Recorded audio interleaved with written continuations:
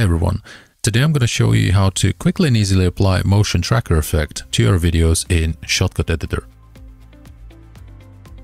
First of all, let's add this video clip from playlist to timeline in Shotcut. Drag and drop the clip like this. Let me zoom in using this button here and play the clip and see how it looks with no effects. So what we want to achieve is use motion tracker and track this person's hand here and cover it with the sign no smoking. And to do that, first of all, we have to move the playhead now back to the start of the clip. Uh, navigate over video track 1 here. Right click, go to track operations and add video track. So now we have added secondary video track here. And this is where we need to add this image. Drag and drop the image to video track 2 and adjust the duration of this image to match the video clip below just like this. And for now, let's hide this image. Click on this button here. Now go back to video track 1, select this clip in video track 1 here, navigate to filters, add a filter, type in and find the filter called motion tracker. Okay, now in here we have motion tracker settings and on the preview window you should see this little uh, box here. So if you left click you can move it around. And what we need to do here is position this box over the area that we want to track. So in this case, I want to track this person's hand and the vape. This is what we want to cover. And if you also click on any of these little boxes here, you can just drag it and adjust the size. So let's make it slightly bigger so that it covers um, more area on the screen and it can focus uh, and track better let's say this much. Okay. Now go back here to the motion tracker settings and click on this button Analyze. And as you can see now Shotcut is analyzing the clip. So it's basically just going from uh, start to finish uh, through all frames. Here on the jobs you can also see the progress.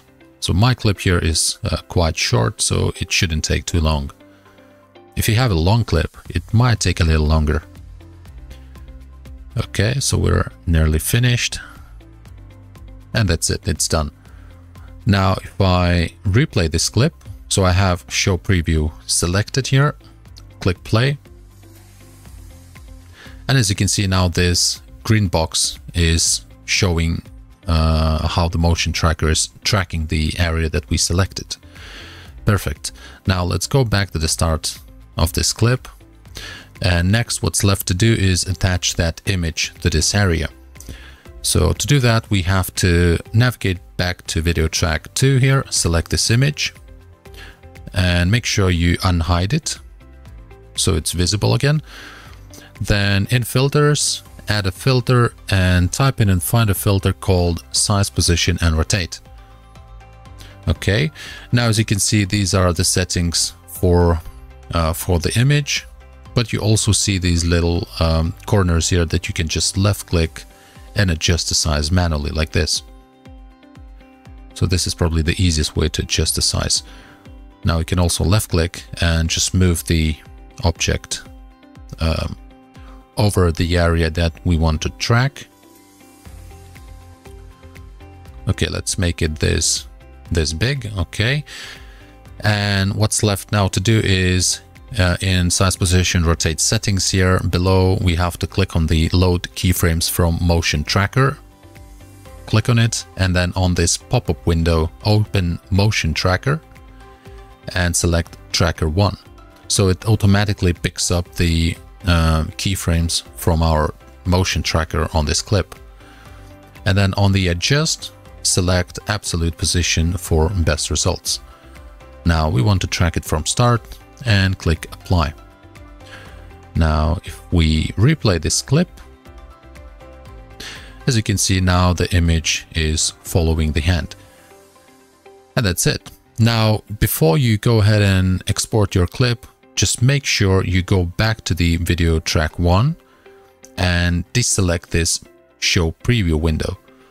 If you don't do this, when you export your clip, you will see this um, square box in green and you might not want to uh, see it on your project. So just make sure you untick this show preview uh, box and then you're good to go and export your clip. And that's it guys. This is how you apply motion tracker effect in Shotcut. Simple and easy. And if this was useful, don't forget to like and subscribe the channel and see you in the next video.